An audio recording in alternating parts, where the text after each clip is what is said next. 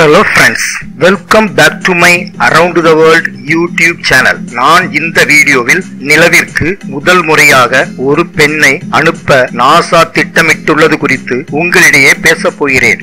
அதுக்கு முன்னால என்னுடைய அரவுண்ட் த வேர்ல்ட் என்ற இந்த சேனலுக்கு இன்னும் சப்ஸ்கிரைப் பண்ணாதவங்க உடனே சப்ஸ்கிரைப் பண்ணிக்கோங்க.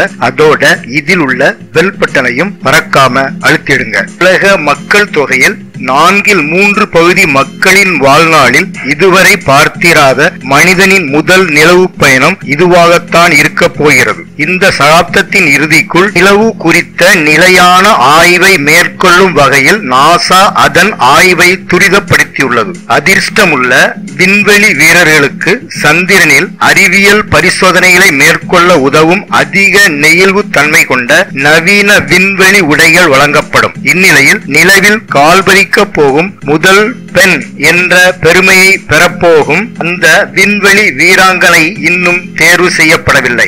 ஏற்கனவே சர்வதேச விண்வெளி நிலையத்திற்கு சென்ற விண்வெளி வீராங்கனைகளில் ஒருவராக அந்த பெண் இருப்பார் என்று நாசா கூறுகிறது. ஆண்கள் சந்திரனில் தரையிறங்கிய நீண்ட நாட்களுக்கு பின் ஒரு பெண்ணை சந்திரனில் கால் பதிக்க செய்யும் இந்த முயற்சி அனைவராலும் ஆவலாக எதிர்பார்க்கப்படுகிறது. ஆனால் இந்த முயற்சி அமெரிக்கா சார்பில் மட்டும் நடைபெறப் போவதில்லை என்றும். சர்வதேச விஞ்ஞானிகளின் ஒத்துழைப்புடன் இந்த நிலவு பயணம் அமையும் என கூறப்படுகிறது. ஆயிரத்தி தொள்ளாயிரத்தி அறுபத்தி ஒன்பதாம் ஆண்டில் முதன் முதலில் நிலவில் தரை இறங்கிய நீல் ஆம்ஸ்ட்ராங்கின் பயணம் சோவியத் யூனியனை வீழ்த்தி விண்வெளி போட்டியில் அமெரிக்கா வெல்ல காரணமானது.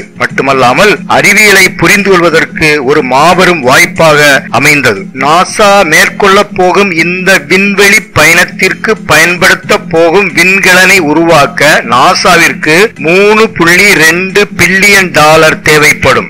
அடுத்த ஆண்டு அல்டாமிஸ் ஒன் என்ற சோதனைக்கலன் சுமார் ஒரு மாதத்திற்கு மனிதர்கள் அல்லாத விண்வெளி சோதனை பயணத்தை தொடங்க உள்ளது. பின்னர் அல்டாமிஸ் டூ சந்திரனை சுற்றி பயணிக்கும். ஆனால் விண் விண்வெளி வீரர்கள் இம்முறை அதை இயக்குவார்கள். பின்னர் திட்டமிட்டபடி இரண்டாயிரத்தி இருபத்தி நான்காம் ஆண்டில் அல்டாமிஸ் த்ரீ நிலவை சென்றடையும். இது மட்டுமல்லாமல் இந்த சகாப்தத்தின் பிற்பகுதியில் சந்திரனை நீண்டகாலம் ஆராய்வதற்காக உள்கட்டமைப்பு வசதிகளுடன் கூடிய அல்டாமிஸ் பேஸ் கேம்ப் எனப்படும் மனிதர்களுக்கான தளத்தை நிறுவ உள்ளதாக நாசா கூறியுள்ளது. சந்திரனில் மனிதன் மீண்டும் கால் பதிக்கும் இந்த திட்டம் புதிய விஞ்ஞான கண்டுபிடிப்புகள் மற்றும் பொருளாதார நன்மைகளுக்கு வித்திடுவது மட்டுமல்லாமல் புதிய தலைமுறை ஆய்வாளர்களை குறிப்பாக பெண்கள் சமூகத்தை ஊக்குவிக்கும் திட்டமாகவும் அமையும் என நாசா நம்புகிறது. இந்த மாதிரியான விண்வெளி சம்பந்தமான செய்திகளை பற்றி தெரிந்து கொள்வதற்கு எனது அரவுண்ட் த வேர்ல்ட் என்ற இந்த சேனலுக்கு இன்னும் சப்ஸ்கிரைப் பண்ணாதவங்க உடனே சப்ஸ்கிரைப் பண்ணிக்கோங்க.